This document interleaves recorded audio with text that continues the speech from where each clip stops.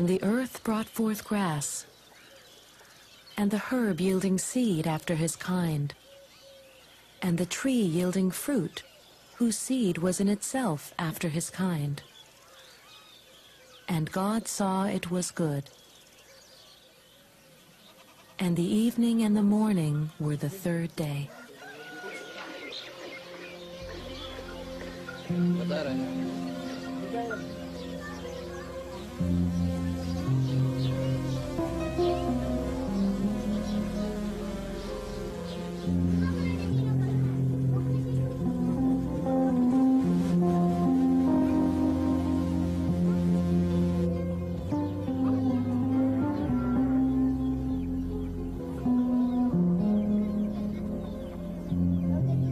No justice. Do you hear me? This is chemical warfare every day going on in this fucking world, and now it's Miss Shiva Vandana from India. Give her a hand.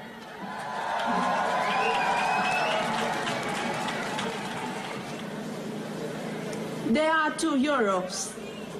There's your Europe, with whom I come to join with my heart, my love, my solidarity. There's the other Europe that colonized us 200 years ago and thinks they can colonize us again, and we are saying no. We've learned our lessons. We know how to defend our freedoms. Our world is not for sale.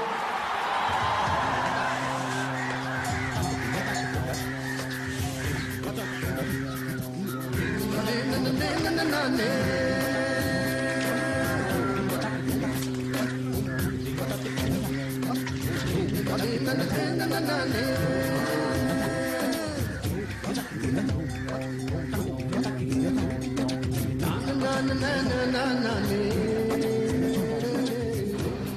earth is not for sale. Can you really patent a tree? Do we need to modify genes?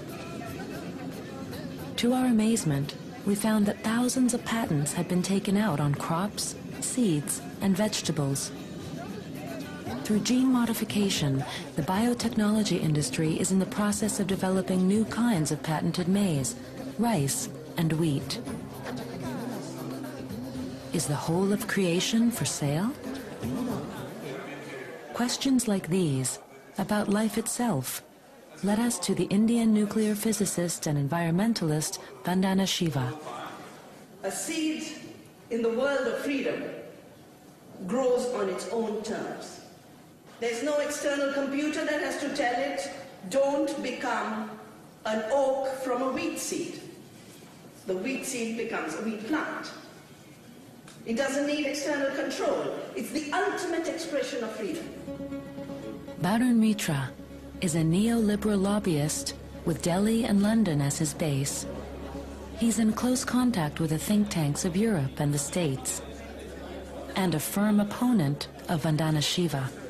We gave the Bullshit Award for Sustaining Poverty to Vandana Shiva in Johannesburg last year because she has become the icon of the West, of the protest movements around the world who think liberalizing trade or globalizing, globalization is going to harm the poor.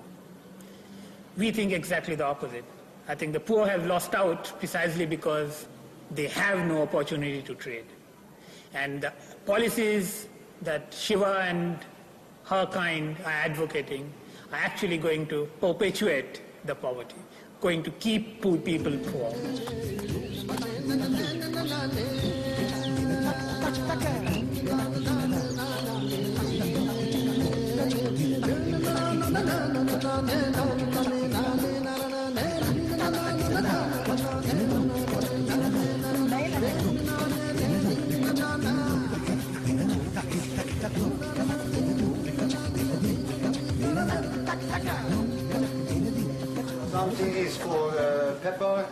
And some for salt. Ska de ha det på taxfree som de inte ska ha det i Sverige? Well, you, do you want tax free? I would love tax free. Fast de ska inte använda det i Sverige, de ska ta med sig det hem. I'm taking it home. You know, I'm going to take one to beat with their feet, and I'm going to give one to my sister.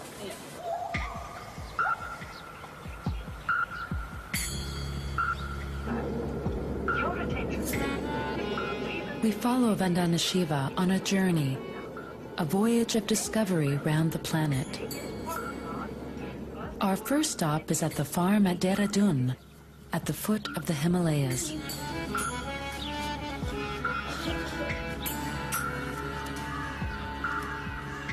Navdanya, the school of the nine seeds, started by Vandana 20 years ago. Today it has 20,000 members, farmers from all over India. Courses for all kinds of seekers of knowledge. Here, even the buildings are environmental friendly. Every woman has her own design. Aha. Yeah, because I saw the way they hang the it different is so, and every part of the country, it's different. Okay. Depending on the rain, depending on the climate. Is it just dried or is it baked? I think no, no, no, sun dried. It's just sun dried. It's straw and cow dung. Oh, bullshit. Bullshit. Why do you think I sort of loved that award? I never found it in inside. Because I think cow dung is the most beautiful material. Oh, these all our walls are made of cow dung. Kate.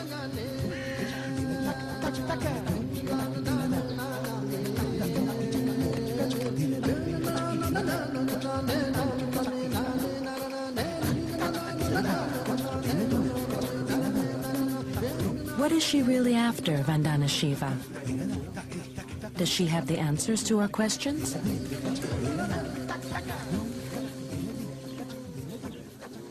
we have a vision and we have a commitment. And our vision is life cannot be made subservient to money and capital.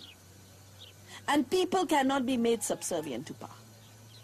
That Navdanya is an alternative to the dominant structure, the structure of globalization, which for me started as the structure which was forcing countries to create ownership over life, it has become a structure that is addressing other aspects of globalization it's addressing other property issues because Navdanya is about reclaiming biodiversity as common property, as the commons. It is about reclaiming knowledge as common property and not allowing that knowledge to be a monopoly. Hello?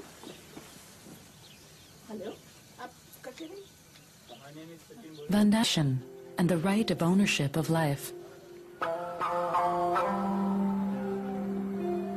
A company at the hub of the debate is Monsanto in the United States.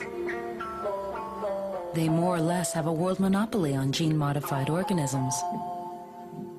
We're surprised that they let us in and that they allow their directors to speak about gene modification and patents. So at this facility, we have uh, 122 growth chambers uh, that are on multiple floors. And these uh, growth chambers, we can duplicate the climate, temperature, humidity of any growing region anywhere in the world. We also have 75 research laboratories and over 475 uh, agricultural researchers working at this site in St. Louis. We have uh, 26 greenhouses, 13 on two levels. We have over two acres of greenhouse space.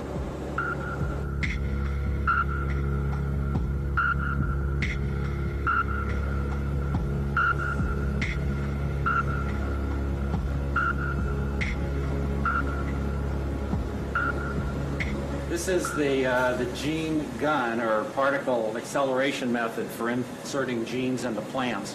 This was developed in the, the mid-80s uh, as a way to insert genes into the grass crops, to the monocotyledons, which are like rice and corn and wheat. We take uh, dust particles of gold or tungsten and we coat them with the DNA of the gene we want to insert. 22 caliber shell. is a gun. It is a gun. And it uses the gunpowder to blast that. And so it shoots those little, like a shotgun, it shoots those little pellets of dust and they go inside the cell.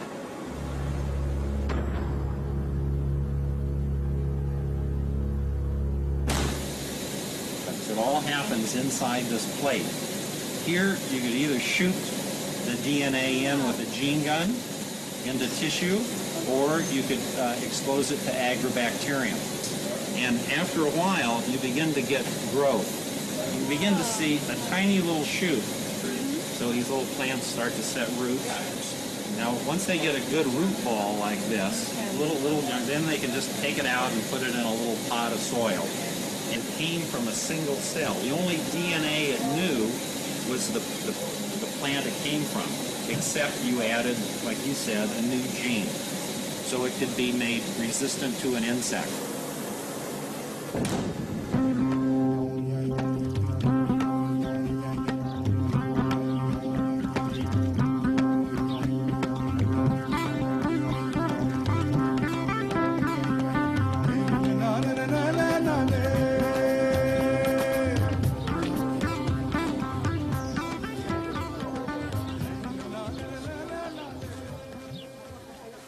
Each variety has been marked.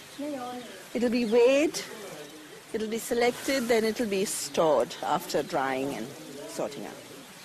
All seeds that have disappeared, like this, is, uh, is linseed. And you can see how distinctive each variety is. Each variety is so different.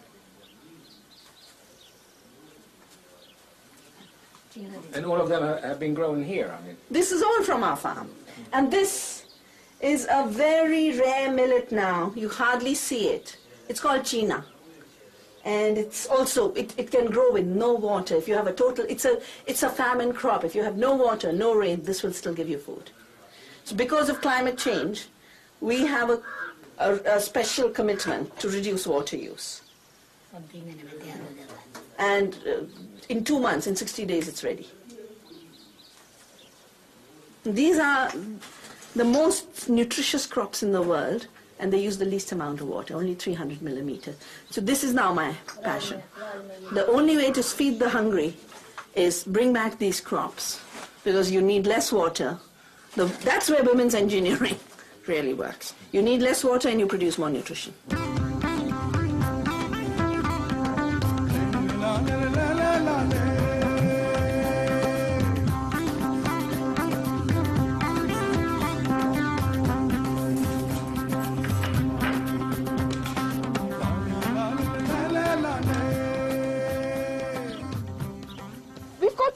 Awareness and literacy about what are we, being fed with.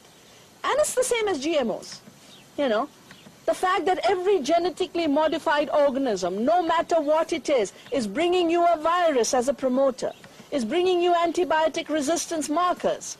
That no matter which GM food it is, just those two aspects of GM are dangerous to health.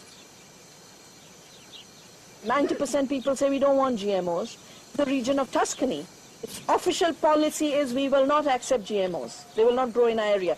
In England and Wales, every year, every month, the, and I'm sure in Ireland too, every month the districts that are saying we'll be GM free are growing.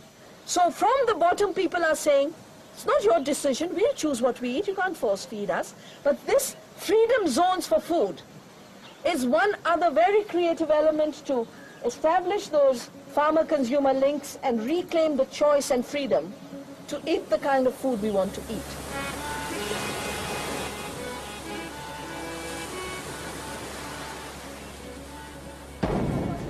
We visit the World Trade Organization meeting in Cancun in September 2003. 10,000 delegates from 145 countries are there. Environmentalists, lobbyists from all over the world.